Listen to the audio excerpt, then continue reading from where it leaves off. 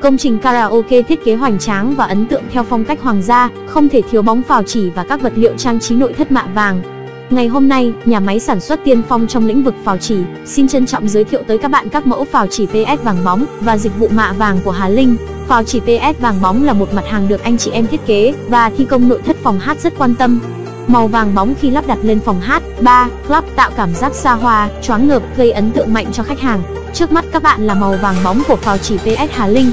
Chúng tôi cung cấp phào chỉ màu vàng bóng các loại như phào góc trần các bản từ 3 đến 11 cm, chỉ khung tranh nẹp tường các bản từ 2 đến 9 cm, nẹp góc bản 3 đến 8 cm, chân tường các bản 8 và 11 cm. Ngoài phào chỉ thì hoa văn, mâm, cột là những vật liệu góp phần không nhỏ vào thành công của công trình karaoke.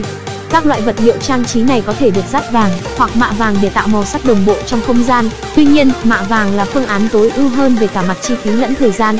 Tại Hà Linh, chúng tôi cung cấp dịch vụ mạ nano vàng 1824K công nghệ mới, sản phẩm tạo ra có màu vàng tươi, bóng gương và rất sáng. Đặc biệt, thời gian hoàn thành dự án diễn ra nhanh chóng mà vẫn đảm bảo chất lượng vượt trội, đáp ứng yêu cầu khắt khe của các dự án lớn.